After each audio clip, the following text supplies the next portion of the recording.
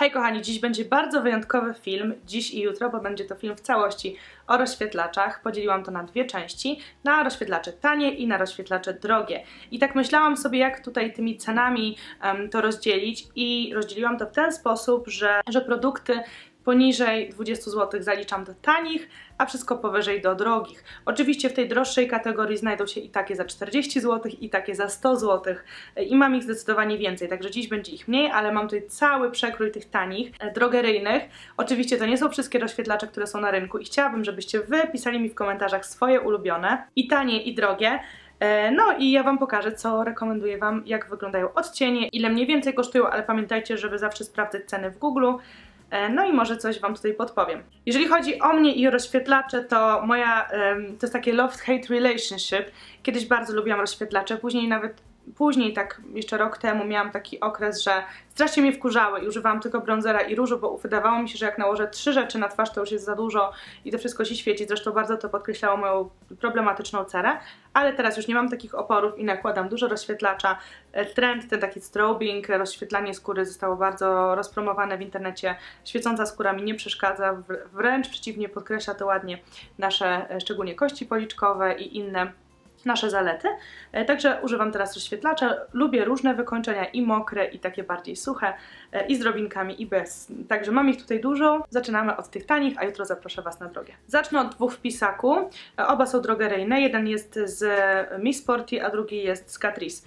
Miss Sporty to nie jest tak naprawdę rozświetlacz, tylko jest to cień. Kolor to jest Strawberry Culius, myślałam, że Kiss 170 i ma taki różowy odcień. Będę Wam robić słocze i mam nadzieję, że wszystko dokładnie będzie widać. Ten produkt ma delikatnie różowy odcień i ja odkryłam, że zamiast y, używać go jako cień w kremie, możemy go spokojnie używać właśnie jako rozświetlacz. Możemy go nakładać na szczyty tutaj mm, naszych kości policzkowych, wklepywać go tutaj wewnątrz, y, wewnętrzny kącik, na szczyt noska i lekko rozcierać. I będzie bardzo dobrym zamiennikiem na przykład produktów z Benefit. E, tuż obok nałożę teraz produkt z Catrice Made to Stay i to jest highlighter pen i on jest przede wszystkim przeznaczony do nakładania go właśnie wewnątrz oczka. E, uważajcie na niego, bo on bardzo szybko zastyga.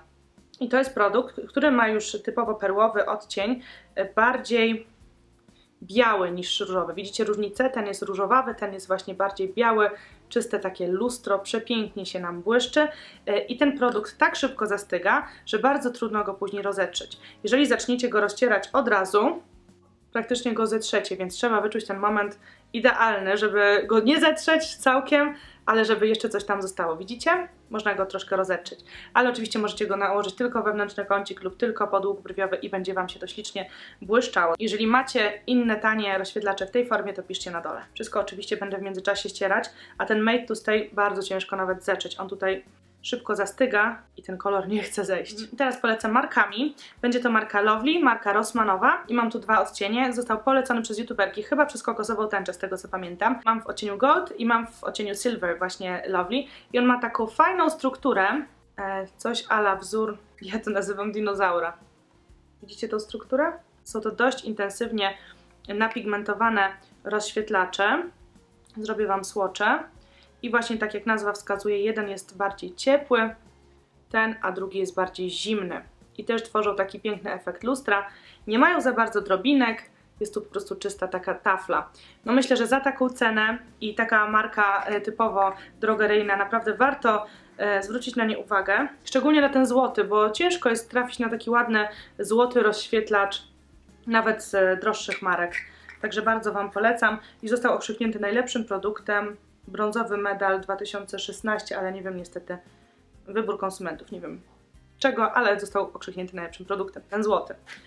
Także polecam Wam bardzo wybrać się do Rossmana. Kolejny rozświetlacz będzie z marki Vibo. Marka Vibo ma w ofercie kilka rozświetlaczy.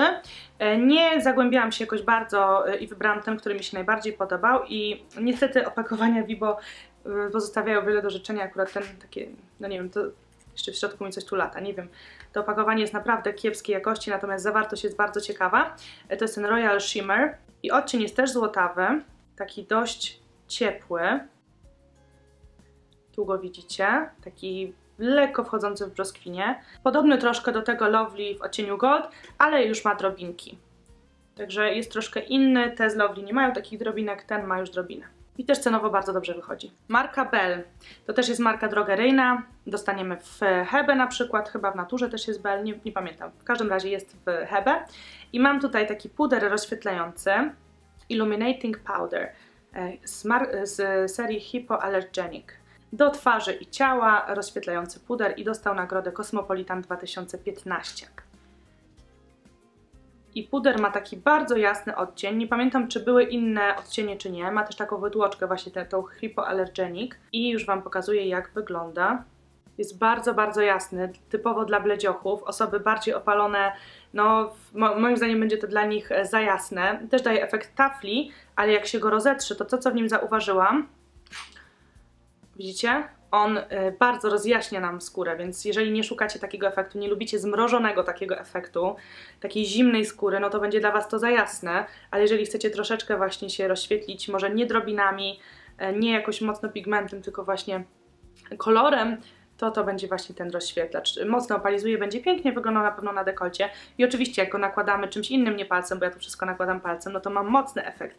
Jak nakładamy pędzel trochę, ten efekt jest troszeczkę bardziej delikatny. Nie ma w nim drobinek, też jest bardzo ładny i też nie jest drogi. Opakowanie troszeczkę większe niż ten poprzednie mm, kosmetyki, kolor 01.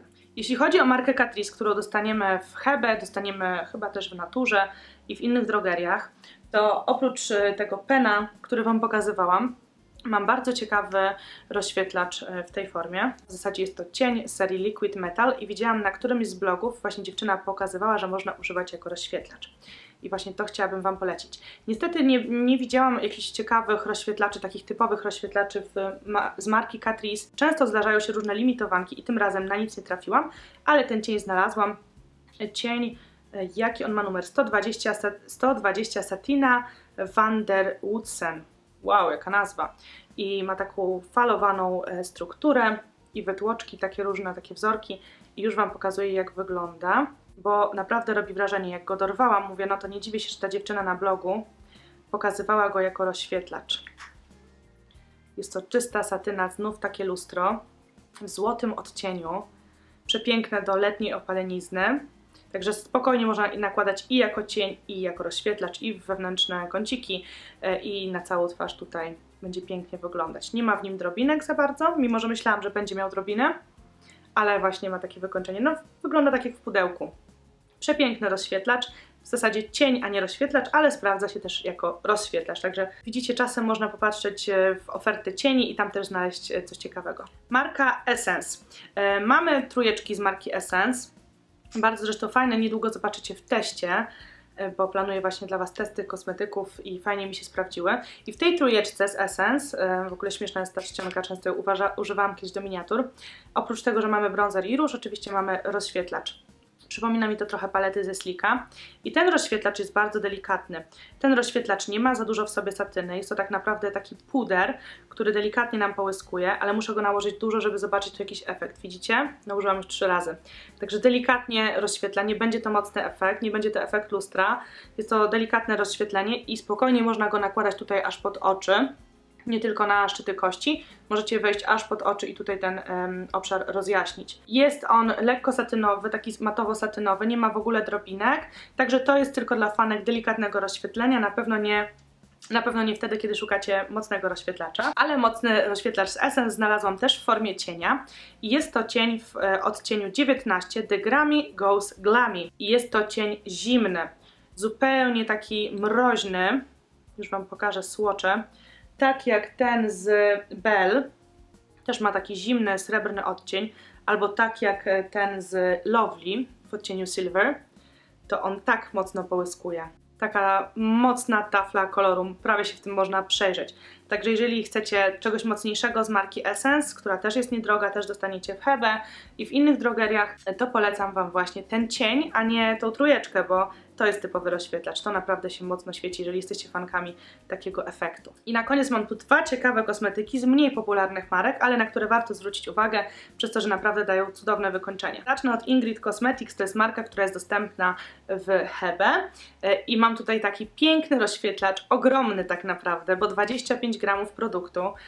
Nie pamiętam ceny, na pewno poniżej 20 zł, ale dostajecie tutaj naprawdę wspaniały, ogromny produkt. E, wiecie za co płacicie po prostu. No, żaden z tych rozświetlaczy wysokopółkowych mm, tak naprawdę nie jest takiej wielkości jak ten produkt z Ingrid. Ingrid to jest niezła firma, bardzo lubię od nich podkład Ideal Face, jest naprawdę idealny. Ten rozświetlacz jak tylko wpadł w moje ręce musiałam go mieć, e, wygląda cudownie ta, ta cała róża i ma delikatnie różowy odcień, kojarzy mi się troszeczkę z Merylu pomieszanym z Cindylu. I kolor to będzie, czy on ma jakiś w ogóle kolor, jest to po prostu puder rozświetlający, ale czy koloru tutaj nie widzę. Było tam kilka i bronzerów i właśnie tych takich ala rozświetlaczy, ale ten mi najbardziej wpadł w oko. Także tutaj Wam nie podam e, samego koloru. I już Wam robię swatcha. Sama przyjemność, bo produkt jest naprawdę bardzo duży, bardzo będzie naprawdę wydajny. I tutaj macie efekt. Bardzo ładne rozświetlenie, moim zdaniem takie dość subtelne. Nie jest aż tak um, lustrzany jak te poprzednie cienie, które Wam pokazywałam. Ten będzie bardziej dzienny, ale naprawdę moim zdaniem daje ładny efekt i warto sobie ten rozświetlacz kupić. E, myślę, że i do jaśniejszej i do ciemniejszej cery będzie odpowiedni. Nie rozjaśnia jakoś tak mocno jak ten Bell. Jeżeli chodzi o kolor, to jest taka platyna. Ciężko mi powiedzieć, czy to jest złoto, czy srebro. Tu w opakowaniu wygląda na bardziej różowy, ale naprawdę przepiękny i taki niepowtarzalny kolor. Myślę, że w tej cenie warto go mieć, także idźcie do Hebe i go kupcie jeżeli jesteście fankami rozświetlaczy tak jak ja. I na koniec moje absolutne odkrycie, coś co musicie mieć jako fanki rozświetlaczy. Dorwałam go na kosmetykach z Ameryki, będzie niedługo w teście i słuchajcie, kupcie go póki jest, yy, bo jest cudowny. Jest to produkt marki Mua Lux e, Highlight Shimmer w takim sticku, jakby ombre. Wygląda tak, też mamy tutaj bardzo dużo produktu, ciężki stick i zobaczcie jak wygląda. I on przepięknie odbija światło, będzie świetnym zamiennikiem produktów z Benefitu. Produktu mamy tu dużo, nie jest drogi, jest to produkt mokry, więc nakładamy go bezpośrednio na podkład przed przypudrowaniem naszej twarzy. Mm, przy na przykład konturowaniu na mokro możemy go użyć albo pod nasz rozświetlacz prasowany.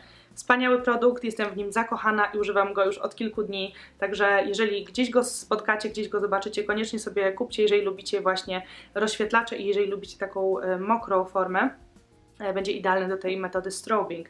I myślę, że to będzie też dobry zamiennik mm, produktu, który pokażę Wam jutro, właśnie z benefitu. Kochani, mam nadzieję, że mój film Wam się podobał, że Wam się przydał. Starałam się jak najlepiej przygotować do tego odcinka, pokazać Wam dużo ciekawych produktów, nie tylko rozświetlacze, ale właśnie rozświetlające cienie czy pudry, więc mam nadzieję, że moje rekomendacje Wam się do, te, do czegoś przydadzą i że będziecie o nich pamiętać przy Waszych zakupach.